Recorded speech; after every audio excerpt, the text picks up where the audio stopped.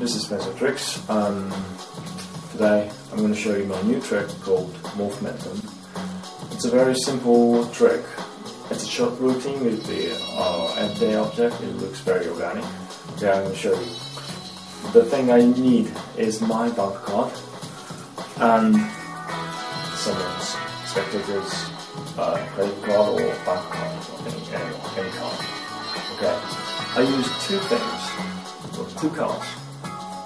Then I put my card away in my back pocket and I use their card. Then if I snap my finger, it changes into my bank card.